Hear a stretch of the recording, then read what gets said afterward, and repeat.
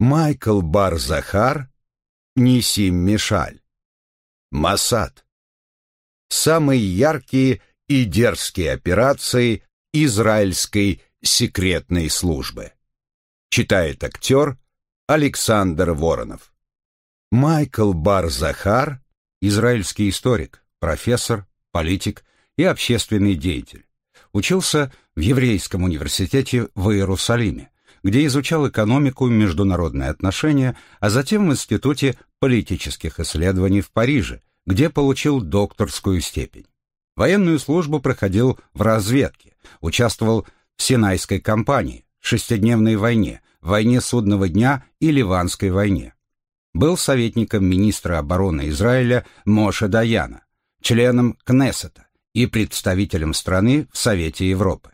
Читал лекции в Хайфском университете, преподавал историю в университете Эмори в Атланте. Писал статьи для Ля Мерхов, был корреспондентом этой израильской газеты в Париже. За достижения в журналистике отмечен премией имени Нахума Соколова. Автор более 20 художественных, публицистических и научно-популярных книг. Переведены на 18 языков, включая официальные биографии Давида Бен-Гуриона и Шимона Переса. Нисим Мишаль, магистр политических наук, один из самых известных телеведущих Израиля.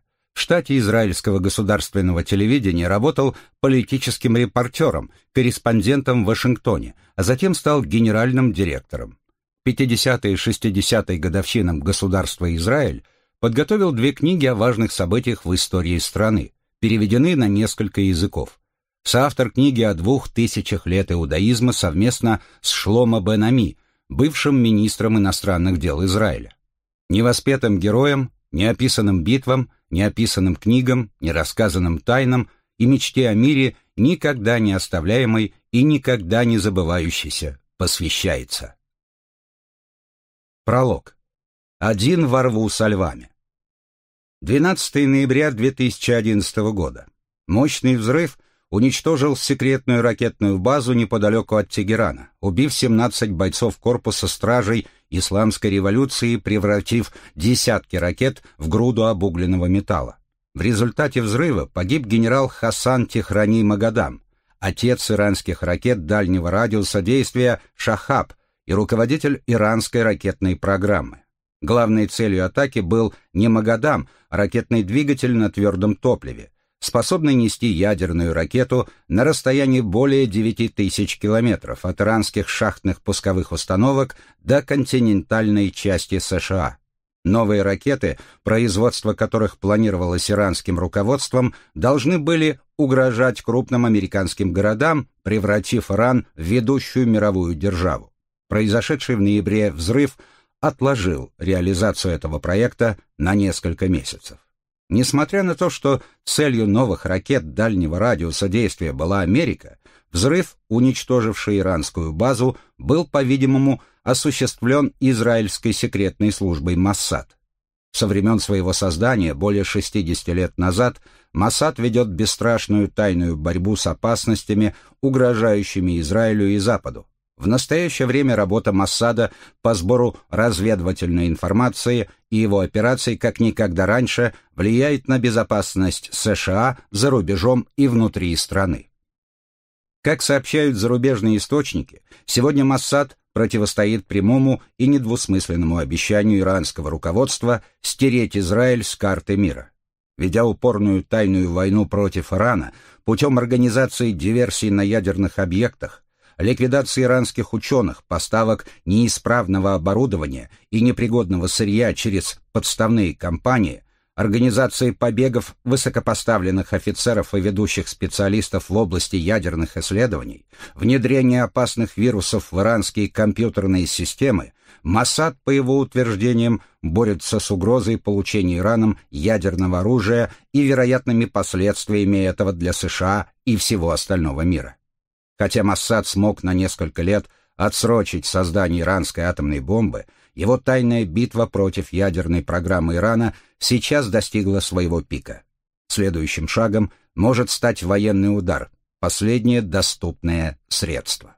В процессе борьбы с терроризмом Моссад с 1970-х годов захватывает и ликвидирует десятки известных террористов в их опорных пунктах в Бейруте, Дамаске, Багдаде и Тунисе, и на боевых постах в Париже, Риме, Афинах и на Кипре.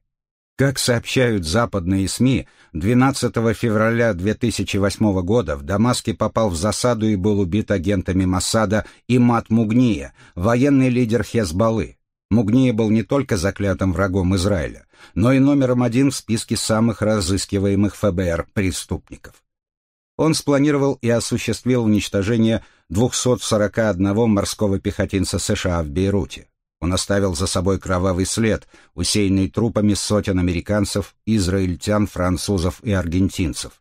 Прямо сейчас на лидеров исламского джихада и Аль-Каиды ведется охота по всему Ближнему Востоку. И все-таки кажется, что никто не прислушался к Масаду, когда он предупреждал Запад о том, что арабская весна может превратиться в арабскую зиму. На протяжении 2011 года на Западе воспевали то, что должно было стать началом новой эры демократии, свободы и прав человека на Ближнем Востоке. Надеясь завоевать симпатии египтян, Запад вынуждал уйти в отставку президента Мубарака, своего главного союзника в арабском мире. Но когда первые толпы демонстрантов хлынули на площадь Тахрир в Каире, они сожгли флаг Соединенных Штатов. Затем ворвались в израильское посольство, требуя разорвать мирный договор с Израилем, и задерживали активистов американских неправительственных организаций. Свободные выборы в Египте привели к власти братьев-мусульман, и сейчас Египет балансирует на грани анархии и экономической катастрофы. В Тунисе укореняется фундаменталистский исламский режим. Ливия, вероятно, движется в том же направлении. Йемен охвачен беспорядками. В Сирии президент Асад уничтожает свой народ. Умеренные режимы, такие как Марокко, Иордания, Саудовская Аравия и Объединенные Арабские Эмираты, чувствуют себя преданными западными союзниками. Все надежды на права человека, права женщин – демократическое законодательство и управление, которые вдохновляли эти эпохальные революции, были сметены фанатичными религиозными партиями, хорошо организованными и имеющими надежные связи с массами. Эта арабская зима превратила Ближний Восток в бомбу с часовым механизмом, угрожающую израильскому народу и его союзникам в западном мире. Со временем задачи Массада будут становиться все более рискованными и все более жизненно важными для Запада. Массад представляется наилучшей защитой против иранской ядерной угрозы, против терроризма, против всего того, чем может обернуться хаос, воцарившийся на Ближнем Востоке. И что особенно существенно, операции Массада – последний орудийный зал перед началом открытой войны. Безымянные бойцы Массада – главный источник его жизненной силы. Это мужчины и женщины, которые рискуют своей жизнью, живут вдали от семей под вымышленными именами, проводят отважные операции во враждебных государствах, где малейшая ошибка грозит арестом, пытками или смертью. Во время Холодной войны худшей участью для секретного агента, задержанного на Западе или в странах коммунистического блока, был обмен на другого агента на каком-нибудь холодном и туманном мосту в Берлине русский или американский, британский или восточно-германский агент всегда знал, что он не одинок и что всегда есть те, кто заберет его с этого моста.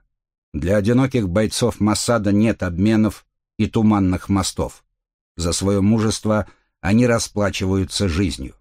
В этой книге мы рассказываем о великих операциях и самых отважных героях Массада, равно как и об ошибках и провалах, которые не раз бросали тень на репутацию разведывательной службы и потрясали сами основы ее существования. Эти операции предопределяли судьбу Израиля и во многих отношениях судьбы всего мира.